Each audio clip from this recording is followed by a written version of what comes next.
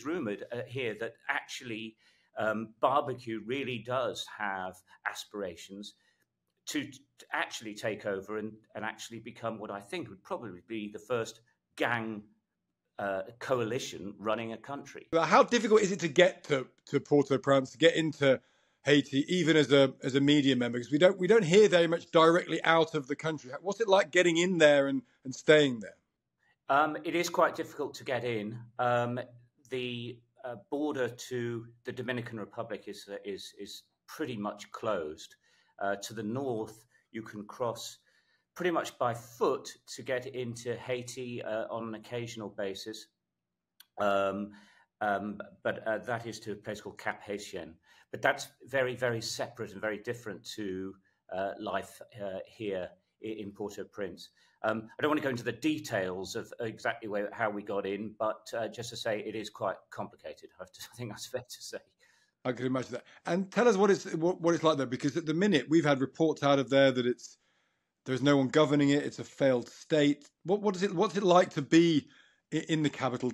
Paint a picture for us. Yeah, it is very much a failed state. There's a there's a void in the government, and in many ways there has been for a very very long time. Although there was a prime minister here, Ariel Henry, he was very unpopular. He couldn't really control um, much of, of Port-au-Prince or even the rest of the country, for that matter. Um, the problem, I think, the gangs control so much of the city that large areas are just simply no go. You just can't go there. Um, if you did, you would either be robbed or killed if you if you attempted to get there without permission. There's no. Uh, it, it still functions. I mean, there are markets. People do get food, but that is still often in short supply because the gangs, uh, particularly one gang who's who's it's run by Jimmy Cherizier, who's known as Barbecue, can close the port can close the airport. So and and has done in the past. So at one stage, for example, there was no fuel in the whole of Haiti for, for months at a time because they just simply closed it off. So that adds to this general sense of insecurity, which then flares up when the gangs decide uh, to wreak mayhem on certain districts, which they do on occasion. Um, and in the last few weeks, it's been very intense. People have to take cover, shops shut, um, obviously, garages closed, so suddenly there's very little food available. Um, there's no fuel available. The electricity goes off. Telecommunications go off. So it, it, it, the general sense of insecurity is, is it's not just a sense; it's actually very real. But it means that normal life is very difficult to, to sustain.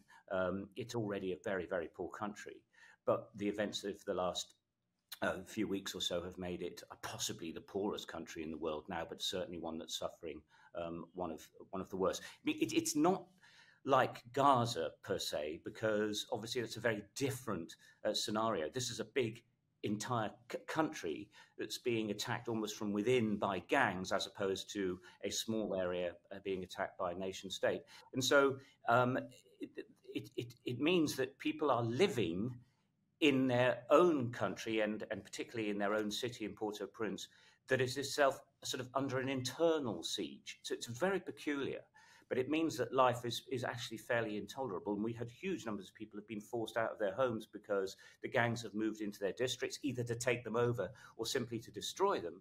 And so what, over 30,000 people are displaced in Port-au-Prince alone. And Port-au-Prince is surrounded by gangs, so leaving it, entering and leaving is very, very difficult and very, very dangerous.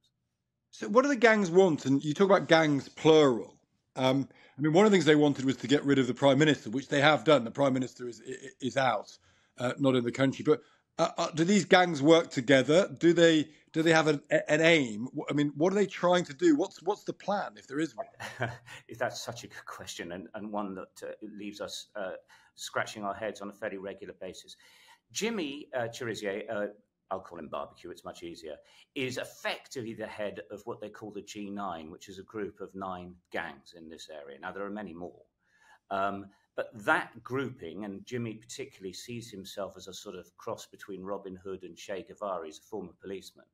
He, as, as, as you said, led what they described as a sort of revolution, getting Henri or Henry out of, out of office, which they've achieved. But it hasn't stopped anything at all. It hasn't stopped their operations. So to say that he is Che Guevara would be incorrect because actually he's a straight up uh, criminal. Um, interestingly, with this past of being a, a police officer uh, himself, the the plan that has been agreed by CARICOM, which is the sort of governing body, the organization of countries in the Caribbean, is for a transitional council of seven people to be set up. They will then set a date for, for new elections. Um, Henry will um, formally stand down when they start sitting. But uh, Barbecue and his gangs have said they're not going to accept that.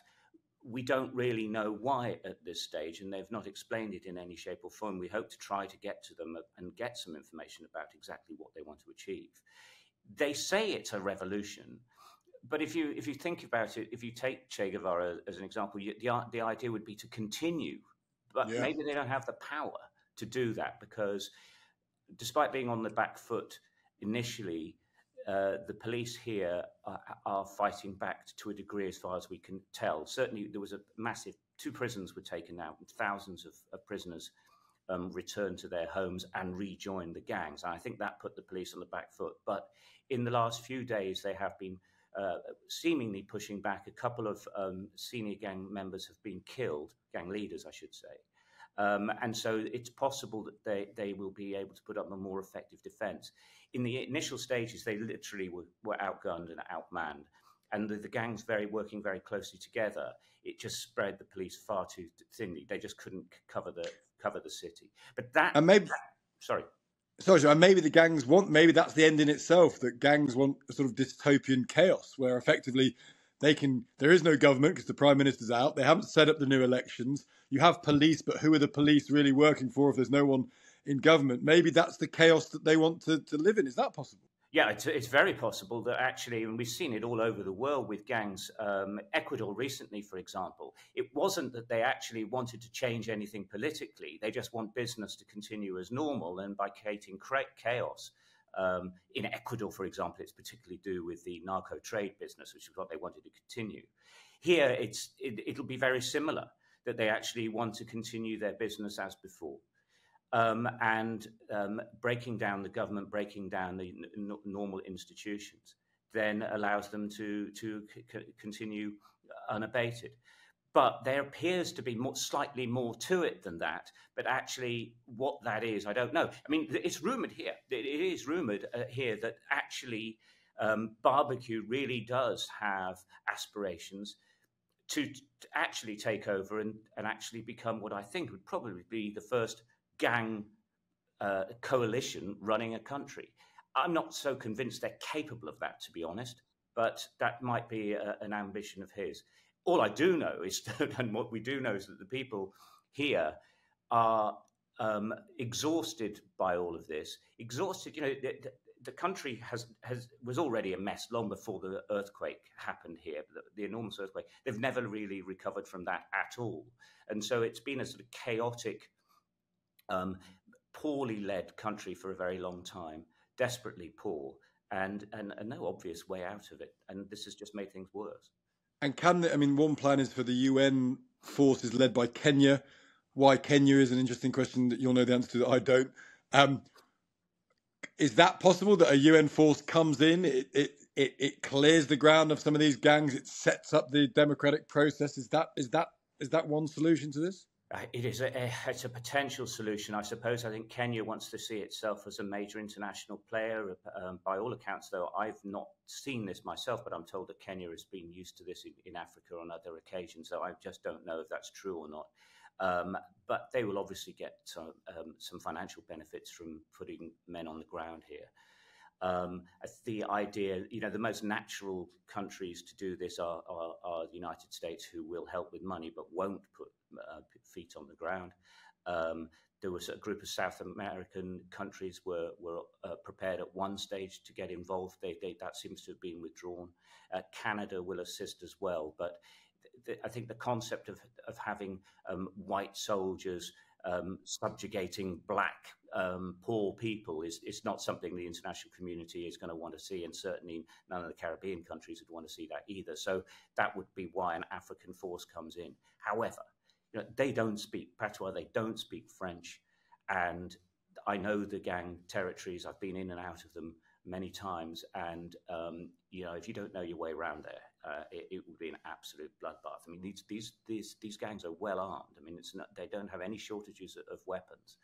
So I don't know how strongly a force um, would have to be to to control it. I mean, are we talking about absolutely taking it into a war zone? And if that's the case, then you know there's displaced people absolutely everywhere. There's people still living in the communities where the gangs are in control, and in many ways, the people who live in those communities are quite happy with the gangs there because actually it's actually safer inside um, barbecues district, for example, than in, in other places. I can't see how it would work unless there is something, an incentive for the gangs to allow it to happen and to, to cooperate. But I can't see what that is because it'll just mean end of business, and end of business is not what they'll put up with.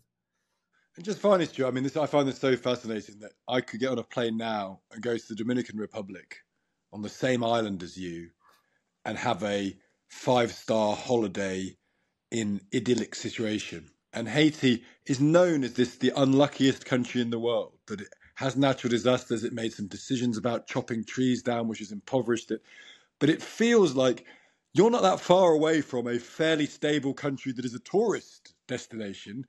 And yet, it's very hard to get where you are, and you're living in almost a dystopia. It's kind of extraordinary, isn't it, when you think of it?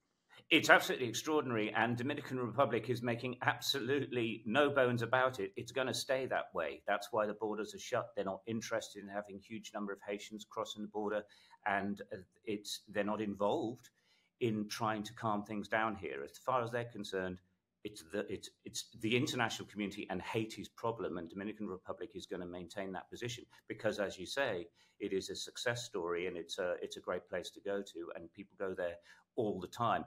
That is one of the interesting things. You know, there's, there's holiday flights coming into Dominican Republic even as we're talking now, and yet literally next door here, the only planes you will the only there's no planes. The airport is shut. The only helicopters you will hear are those that are taking people away, evacuating them um, to the north, where they're getting flights um, out to the United States, where people are being, you know, taken away as, as effectively as refugees. So that that's all you are. As I say, Port-au-Prince, which is really interesting about Port-au-Prince, is that it is actually completely cut off. Um, and if you're in it, short of paying a fortune to gangs that, to get on buses to maybe get out of town without being robbed or kidnapped, many people just simply won't, you know, chance it, and so they're stuck here. Many of them living in schools in their thousands upon thousands, unable to move, unable to work, very little food for them. Um, it's it's miserable. Well, it's so important that you're there. You got in. We'll hope you get out at some point, Stuart. But it's really useful to, to hear hear the testimony, on it. and it's not clear where the story ends. So thank you so much for, for bringing to us where we've got to so far. Thank you. Pleasure.